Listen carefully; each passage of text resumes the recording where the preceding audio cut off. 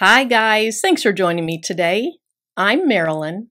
On this video, I'm going to show you how I took an inexpensive canvas board, a sublimation print, and some laminating film to make this project. Now this is a quick and easy project, but there's a few tricks along the way. So if you're interested in learning more about this process, keep watching the video. Now, before I turn the camera around, I want to tell you how much I truly appreciate all your support. Whether that's subscribing to my channel, giving me thumbs up, nice comments, or using my Amazon links, thank you so very much. Before I start putting the project together, I want to show you the supplies I'll use. Some scissors, some heat-resistant gloves, some heat-resistant tape, an 8x10 canvas board. I got this one at the Dollar Tree. And this was a two-pack. I think I got these at Walmart. Now, you could use a thermal laminating pouch. These are 3 mil. They're a little thicker than what I like to use. But these will work. You just pull them apart and you add this on. If you use these, the shiny side goes away from the canvas and the more matte or dull side goes against the canvas. And the dull side is the inside of the pouch. For my project, I'm going to use this laminating film that I got off of Amazon. Now, this is 25 inches wide, and I believe it's 250 feet long. I am going to link to this and other supplies in the description below, and it was only $18 and something when I bought it off of Amazon. I really like this because it's thinner. It's 1.5 mil. It really melts into the canvas or wood or whatever you're putting it on. Then I'm going to have some butcher paper. Also got this off of Amazon, a Teflon sheet, my picture, and a heat press. Now, I've already printed out my image on my sublimation printer, so now let's start putting the project together. I've been laminating on several canvas boards lately, so I have a piece of this lamination already cut off the roll, but I do need to trim it down to size. Now, I don't get too particular to start with because I'm going to trim it up later anyway. So I'm just going to cut around my board.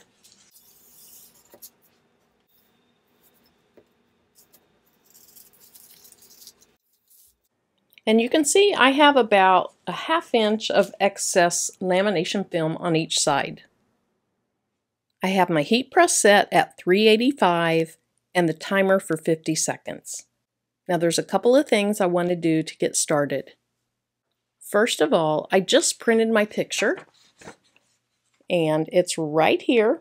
Now, that does not look vibrant yet, but once we add it to lamination film and we have high heat, it'll be really pretty. To make sure the ink is dry, I'm just going to set it under here for about 10 seconds. I'm not even going to put the press down. You wouldn't want to put the press down. But this is going to help ensure that the ink is dry. Then the second thing that I want to do is I want to go ahead and pre-press my canvas board. Now this time I will put the press down for about 10 seconds and this helps remove moisture before we put the lamination film on top.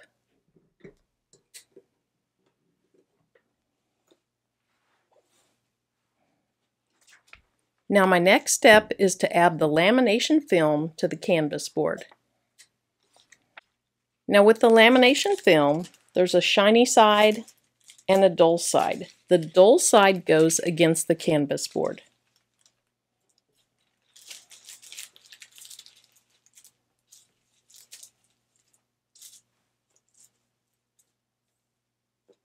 So I'm just going to lay that down on top of the canvas board.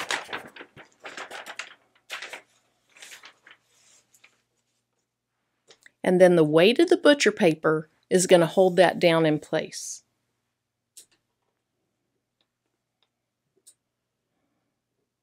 So I'll press this about 20 seconds.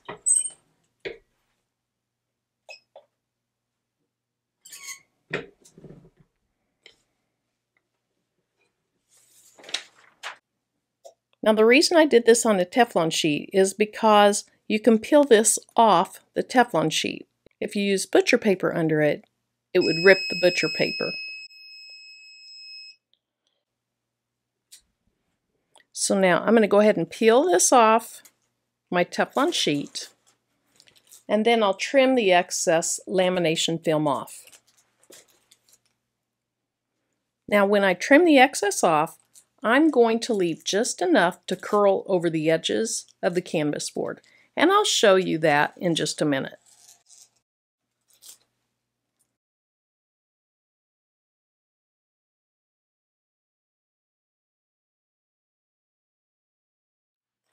Now the amount you leave is just personal preference, but you can see I have just a little bit that will curl over the edges of the canvas board. Now before I adhere that down, I want to trim the corners. So for the corners, I'm going to clip straight across really close to the corner, leaving just enough that I can press it with my easy press in the corners.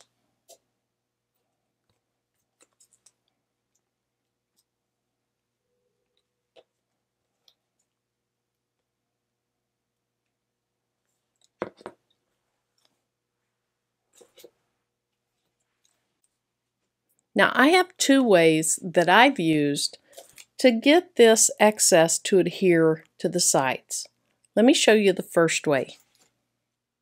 This first way, I just use the heat press and I roll it on the bottom of the heat press until it sticks.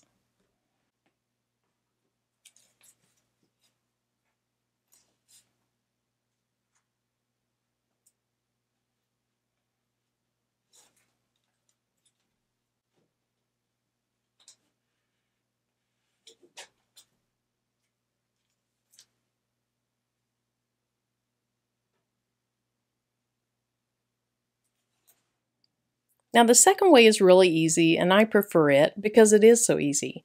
I take my Easy Press Mini, I put it on high. Now it's not quite up to temp yet, but it's fine. And then I just roll it along the side of the lamination film and push it against the side and the back of my canvas board.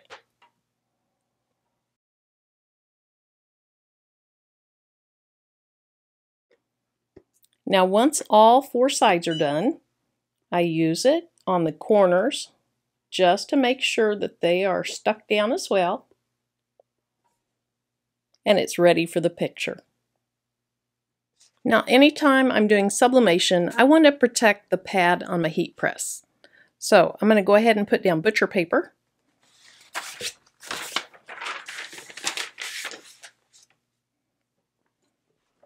Then I'll go ahead and put my picture facing up. And then I'll lay my canvas board on it facing down. Now the size of this picture is off a little bit, but it's okay.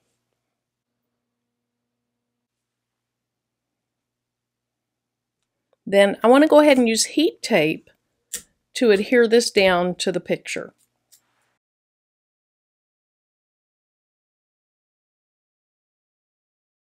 If you do sublimation or if you've watched many YouTube videos, you've probably heard of ghosting. And by attaching the picture to your canvas board, you're going to help prevent that. What can happen is when you lift the lid, the paper can kind of bounce, and by attaching it to the canvas board, it helps prevent that. So I'll put a second piece on top. That way it'll protect my Teflon sheet from getting any sublimation ink on it. Then I'll press this at the 385 for 50 seconds.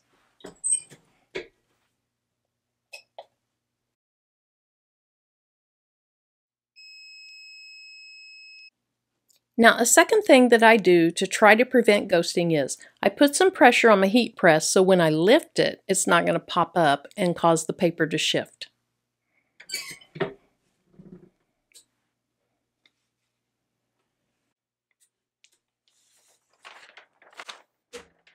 Now I'm going to go ahead and let this cool for about five minutes so I can easily handle it. It's only been about three minutes, but my patience are wearing thin and I'm ready to see this. So one more tip to help prevent ghosting. When you're taking your paper off, Put some pressure on it so it can't move while you're lifting it.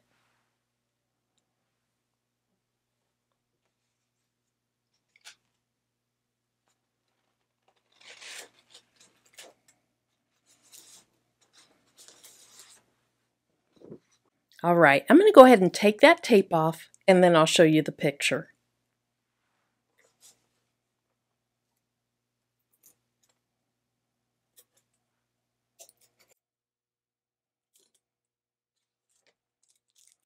Now notice around where the picture was all the ink that's on the paper. This would be on your pad and could then transfer to later projects if you don't protect your pad with some butcher paper. All right, this is hard to show off because of the glare, but it turned out beautifully. The texture of the canvas comes through so well. The colors are vibrant. Now this is my mom and my sisters and I. Probably one of the last pictures we took when my mom was alive and healthy and we were all very happy. So I love this picture.